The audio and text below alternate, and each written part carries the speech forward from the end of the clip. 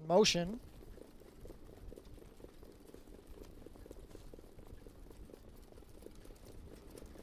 They're off and trotting. Templeton from the pylons with Radcliffe and Twinbee Showmance between them. I'm above average dropping back. From the outside, Talismano.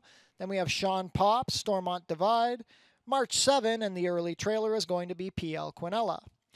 They sort themselves out as they race into the clubhouse turn. It is Templeton leading the way from the inside. Twinbee Showmance is in second. Gapped off a bit in third is Radcliffe at 6 to 5. Fourth is I'm Above Average. Racing in fifth, Sean Pops. Sixth is Talismano, past a quarter in 29 and 2. At the back, Stormont Divide, March 7, and PL Quinella trails the field. It is Templeton leading the way single file down the backstretch. Twinbee Showmance is racing in second, now looking to the outside. Radcliffe is still in third, about three lengths off the leader. I'm above average is fourth. Fifth is Sean Pop. Sixth, Talismano. Seventh, Stormont Divide. Still at the back, March 7 and PL Quinella. The half was 58 and 2. It is still Templeton leading the way as they race into the far turn. Twinbee Showmance looked out but did not make a bid. Radcliffe is racing in third.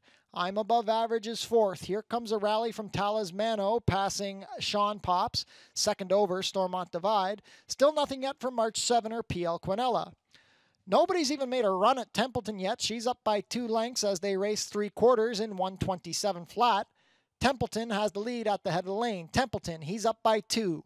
Into second, it is Radcliffe passing Twinbee Showmance. From the back, Talismano and I'm Above Average need to do better. Here comes Radcliffe ranging up to Templeton with less than an eighth of a mile to race. It is Radcliffe and Tyler Borth seizing control. Stormont Divide trying to rally from the back with Talismano, but it's going to be Radcliffe.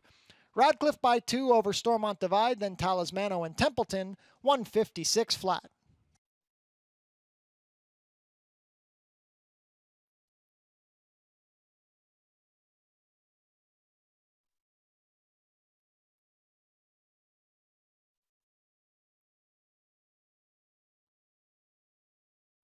Twinbee Showmance. From the back, Talismano and I'm Above Average need to do better. Here comes Radcliffe ranging up to Templeton with less than an eighth of a mile to race. It is Radcliffe and Tyler Borth seizing control. Stormont Divide trying to rally from the back with Talismano, but it's going to be Radcliffe. Radcliffe by two over Stormont Divide, then Talismano and Templeton, 156 flat.